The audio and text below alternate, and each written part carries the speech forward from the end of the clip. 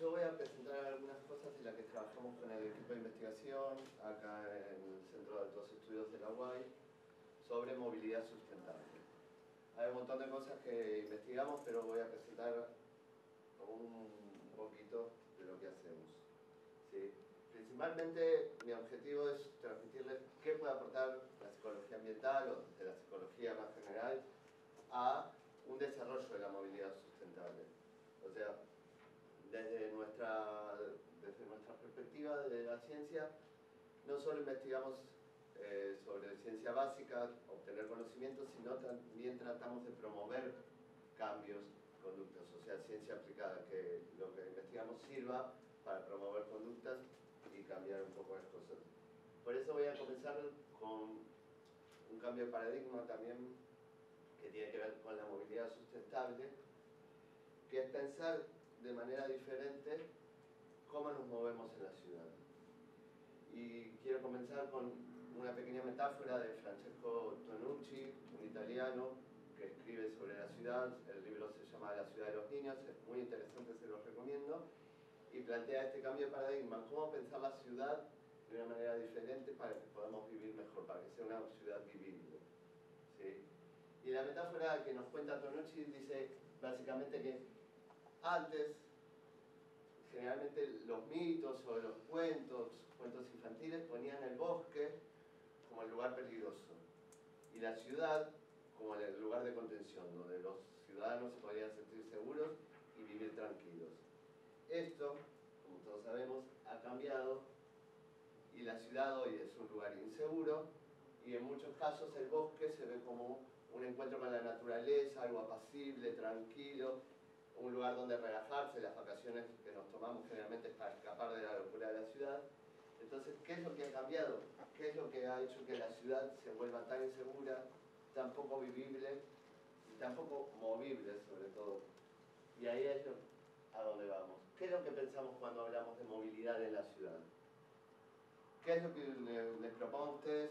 Un segundo que piensen en qué piensan cuando yo les hablo de movilidad en una ciudad como Buenos Aires si quieren me comentan. Lo primero que aparece es el auto, obviamente, si alguno tiene algún accidente, taxi, colectivo, tren, y en una menor medida, últimamente, ha aparecido la bicicleta. El cambio que se propone de la movilidad sustentable es pensar la ciudad como una manera de moverse, pero no solamente para transportarse, no solamente para llegar de un punto a otro. Entonces, si lo pensamos así, aparecen muchos más actores, como decía Luciano, en una ciudad que se mueven de maneras diferentes. No solo necesitamos movernos para ir a trabajar, para ir a estudiar. Necesitamos movernos, en el libro de, Tonucci que pone el foco en los chicos, los chicos necesitan moverse para jugar también. Necesitan moverse para recrearse en la ciudad no solo es trasladarse de un punto a otro. Ese es el cambio de paradigma que proponemos desde la, movilidad sustentable, pensar que hay otros tipos de movilidad, que hay otras maneras de moverse. Entonces, ¿qué necesitamos para cambiar la ciudad y que sea, la movilidad sea un encuentro con los otros y no solamente un fin propositivo de un lado hacia otro? El escenario actual que tenemos, lo conocemos todos, la ciudad tiene se concentra en un punto y todos vamos hacia el mismo punto. A la mañana todos vamos hacia el centro y a la tarde vamos hacia afuera. Y la movilidad de vista desde el tránsito, desde lo que es llegar al, al, punto de trabajo del estudio, plantea cómo llegar desde mi casa hasta el centro y se plantea solucionar ese problema específicamente. Además de ese problema hay otros que es la calle en sí mismo, los chicos donde juegan, los espacios para caminar, que vamos a ir viendo. Como vemos, esta concentración, esta cantidad de población y las conductas, no solo el crecimiento de la población, sino como decía Nadia, las conductas de, de transitabilidad, de moverse en la ciudad, han generado muchos problemas en todas las ciudades del mundo en la ciudad de Buenos Aires particularmente también problemas de estrés, problemas de contaminación sonora, auditiva, problemas de, violencia, de agresividad, como decía Luciano, problemas de salud, problemas de sedentarismo, montón de problemas que aparecen que podrían solucionarse, como decimos, cambiando la manera de la movilidad. Este es un, ejemplo muy gráfico del lugar que ocupan los autos, conductores privados individuales, esa misma cantidad en un autobús y esa misma cantidad en ciclistas. Los cambios de medio de transporte tienen sus beneficios, el autobús ocupa además menos espacio, menos tránsito, menos estrés, pero a la bicicleta le suma todo lo que es la salud y el sedentarismo.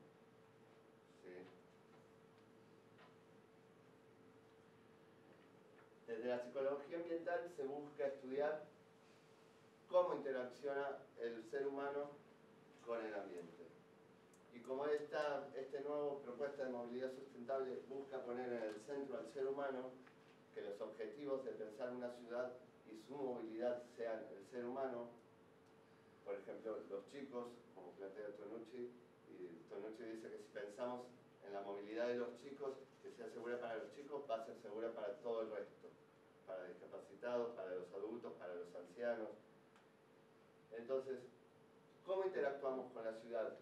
Como decía Luciano, nosotros interactuamos con el ambiente, el ambiente nos hace tener ciertas conductas, pero a la vez nosotros le respondemos al ambiente y transformamos el ambiente. Es un ida y vuelta que siempre está en continuo cambio.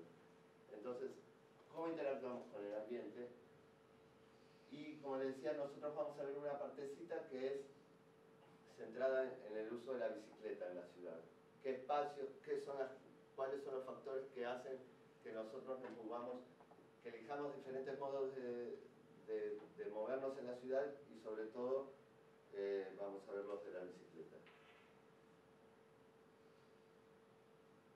Como decía Luciano, uno de los factores muy importantes es la infraestructura, es el contexto. Como vemos, desde el diseño, la arquitectura, desde la planificación política, se ha propuesto infraestructuras que tienden a generar conductas en los sujetos buscan generar, por ejemplo, las bicisendas, buscan generar que los sujetos usen eh, la bicicleta, espacios que se le ganan a la calle para la caminabilidad, espacios donde se puede estar, no solo para tomar el colectivo, sino estar, caminar, pasear, espacios que se ganan también para el disfrute del verde, son todas intervenciones, acá vemos un espacio que se le ganó a la calle también para la caminabilidad, para que sea más seguro, y bueno, cuestiones como el clima que también tienen que ver con la bicicleta. Pero esto solo no basta, no basta hacer una infraestructura para que los sujetos puedan caminar y andar en bici. Cuando eso ya está hecho, ¿qué es lo que hace a los sujetos eh, elegir o no un medio de transporte ecológico o, caminar o salir andar en bicicleta? Y ahí aparecen los factores más simbólicos, factores psicológicos, entre los que encontramos valores, actitudes, creencias, diferentes tipos, que es la particularidad de los sujetos al elegir el medio de transporte. En un estudio de revisión, por ejemplo, que hicimos nosotros sobre cuáles eran estos psicológicos que impulsaban a la gente a usar la bicicleta, encontramos que además de la infraestructura y además de la elección de los puntos como la rapidez, como el ahorro de dinero, hay algo muy importante para el uso de la bicicleta que es el apoyo social. O sea, aquellos que yo considero importantes, mi familia, mis amigos, personas de referencia, que consideren que la, la bicicleta es buena, hace un aporte a mí para que yo también considere que se puede usar la bicicleta en la ciudad.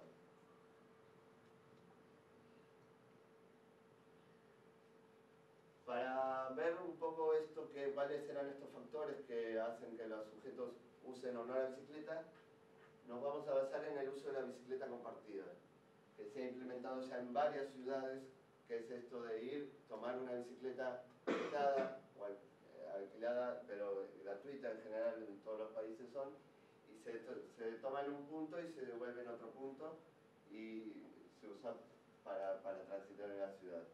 Como vemos, hay 12 países que la implementan y uno es la ciudad de Buenos Aires, con las bicicletas públicas. Como dijimos, estas bicicletas solucionan un montón de problemas eh, de tránsito en la ciudad, tanto eh, de infraestructura como de salud. Y entonces nosotros lo que hicimos fue ir a los usuarios de la bicicleta pública y preguntarle algunas cosas para tratar de saber cuáles eran los motivos de que usaban la bicicleta pública, qué transporte habían, usaban antes y por qué cambiaron por la bicicleta pública y además cuáles son los aspectos de un medio de transporte que ellos valoran y si la bicicleta pública benefició esos aspectos o no. Y por último, medimos a ver qué valores tienen esas personas, a ver si aparece el valor biosférico, que es un valor que se estudia mucho en ambiental, que propicia que ellos hayan elegido la bicicleta como medio de transporte y si además tienen una identidad ciclista o una identidad ambiental.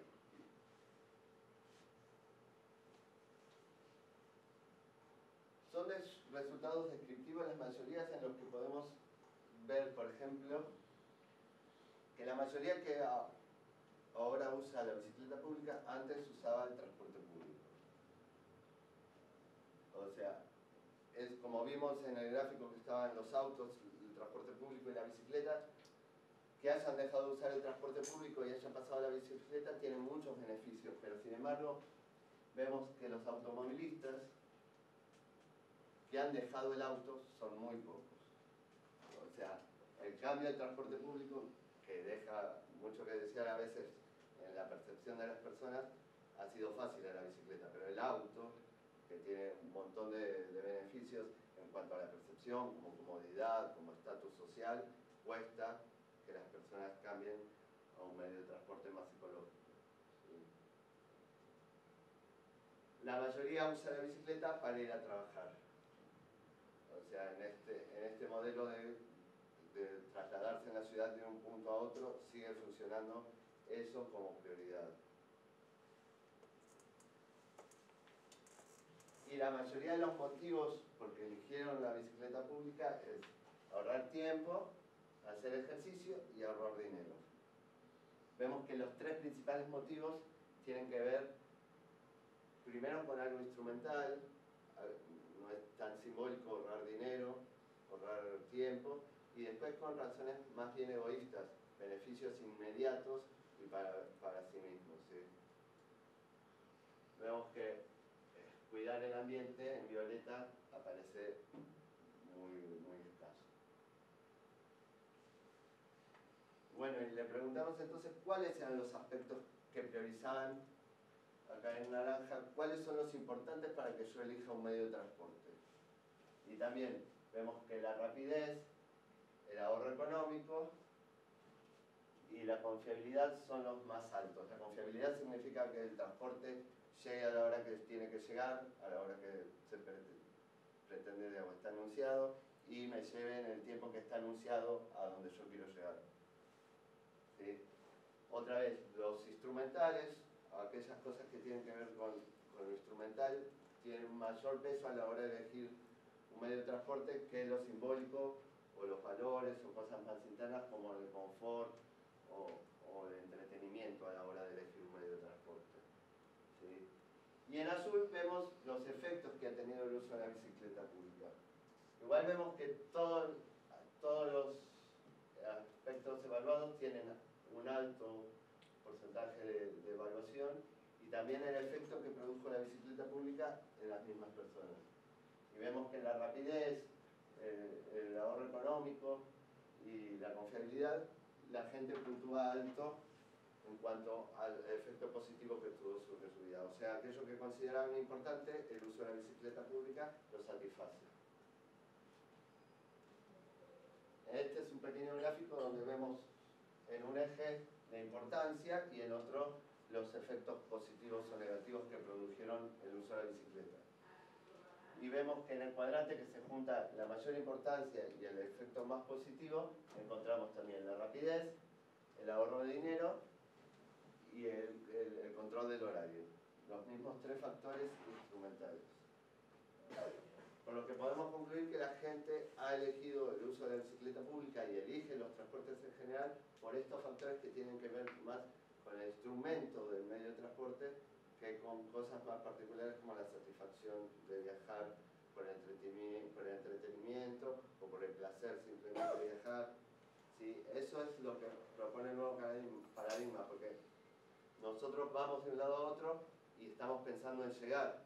Nunca, se ponen a pensar ustedes, cuando viajamos, estamos pensando en el disfrute del viaje como, una manera de pasar el tiempo, si tenemos que decir. Sí, no, igualmente en el gráfico anterior, cuando sí. mostrabas eh, el entretenimiento y la salud, o sea, lo que las personas le, daban importancia, pero después percibían mejoras en la salud y percibían mejoras en el entretenimiento. Así que, Sí, sí, como, como, vemos todos son altos, todos se consideran importantes y se han producido efectos en el uso de la bicicleta, pero los más importantes son estos tres. Claro, pero yo me refiero a que supera las expectativas de la, de la persona al ponerlo en práctica. Sí, sí.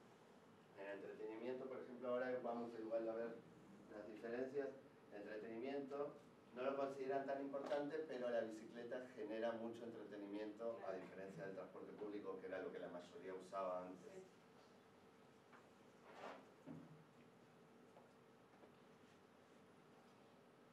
Bueno, y finalmente lo que hicimos es ver cómo era la percepción de estos mismos aspectos entre aquellos que usan la bicicleta pública muy poco una vez cada la semana, una vez cada tanto, y aquellos que la usan seguido, más de tres veces a la semana, por ejemplo. Vemos que la relación es más o menos la misma, pero esos asteriscos significan que estadísticamente hay una diferencia entre los dos grupos. Naranja es baja intensidad y azul es alta intensidad, los que lo usan mucho. Entonces vemos que en los más simbólicos, en el confort, en la salud, en el entretenimiento, bueno, el control que ya habíamos visto y la seguridad, los, aquellos que son más de percepción del sujeto, hay una diferencia entre los que la usan mucho y los que usan poco la bicicleta. O sea que todos valoran alto todos los aspectos, sin embargo, aquellos que la usan más tienden a valorar un poco más los aspectos simbólicos, como el entretenimiento que decíamos antes. O sea, el que suele usar la bicicleta mucho sabe valorar más el entretenimiento que le da la bicicleta al usarla. Entonces, podemos armar entre todos estos factores y lo que les decía de la identidad ambiental y los valores biosféricos, podemos armar un cuadro de relación que nos da sobre la conducta, sobre la frecuencia de uso, o sea, la cantidad de veces que la usa, la intención de usarla, a pesar de que, por ejemplo, se empiece a cobrar el sistema público o que, o haya más distancias, o la intención de seguir usándola a pesar de que se aparezcan barreras y la conducta real finalmente. Y vemos que los, factores instrumentales, como decíamos, la infraestructura, el contexto, va directamente con la frecuencia y con la intención de, seguir usándola. Y los valores eh, no van con las conductas directamente, sino que modifican la identidad ambiental. O sea, tener valores bioféricos hace que vos puedas tener una identidad ambiental y recién ahí, una vez construida la identidad ambiental, aparecen las conductas. Por lo que en movilidad sustentable se plantea este modelo donde, como decíamos, eh, la identidad ambiental media entre los valores bioféricos y la conducta concreta. Y aparece un aporte de la experiencia de lo que es la conducta que realizan siempre, la frecuencia y la intensidad de eso que antes. Y finalmente vemos una diferencia entre aquellos que usaban el transporte público y los que usaban, los que usaban la bicicleta ya antes, su propia bicicleta antes de usar la bicicleta pública, y vemos que también aparece una diferencia en, en la identidad ambiental, en los valores simbólicos y en los instrumentales. O sea, la naranja es los que usaban la bicicleta anteriormente, tienden a tener una más alta identidad ambiental, a valorar más los aspectos instrumentales y también los simbólicos. bueno, como conclusión, vimos que los factores eh, instrumentales o factores, aquellos factores que hacen al contexto, son muy importantes para que la gente empiece a usar medios de transporte diferentes, empiece a pensar la, la ciudad de una manera diferente. Por ejemplo, acá vemos una intervención que es clásica del cambio de paradigma. Cuando nosotros cruzamos la calle, nosotros nos estamos metiendo en el ambiente, en el lugar, en el, lugar del automovilista. Tenemos que bajar de la acera, que es donde nosotros caminamos, e introducirnos en el lugar que le pertenece al automovilista. Entonces, algunas de las intervenciones que se, propone, por ejemplo, que la senda peatonal sea, esté a la altura de la vereda, que el que tenga que introducirse en el, en el lugar sea el automovilista en el lugar del peatón esto de priorizar eh, al ser humano cuando se piensa en la ciudad. Lo mismo que eh, hay calles donde se han hecho conitos así y dejan un espacio chiquito para que pase el auto. Eso también es una intervención que le permite al, peatón caminar más tranquilo porque el auto al tener un espacio para que pase uno solo va más lento todas esas pequeñas intervenciones como los de ganarle lugar también a la calle para caminar, para que sea un lugar más lindo para caminar, más caminable, son intervenciones estructurales que hacen, que propician estas, conductas más ambientales. Y con respecto a la bicicleta vemos que la mayoría la usaba para ir a trabajar, los factores que evalúan primeramente es ahorrar el tiempo y la mayoría cambió de medio de transporte para ahorrar el tiempo, también al lado del ahorro económico, y que los que usan con mayor frecuencia, recién ahí vemos mayor valor de los, de, los aspectos eh, simbólicos, como el entretenimiento, el placer por usar, el placer al viajar, el confort, la, salud. Eh, finalmente, los valores biosféricos generan una identidad ambiental y lo que, que es lo que genera un cambio de conducta. Y no nos olvidemos del apoyo social, o sea, que nuestro ambiente social piense beneficiosamente sobre la bicicleta o sobre caminar y el cambio de conducta también va a ayudar a que eh, haya un cambio de paradigma y la ciudad pueda ser más vivible y podamos ser más caminable una ciudad y más, sobre todo esto que les decía antes, donde los chicos puedan salir a caminar y no haya peligro, como decía Luciano, que un auto o algo se, introduzca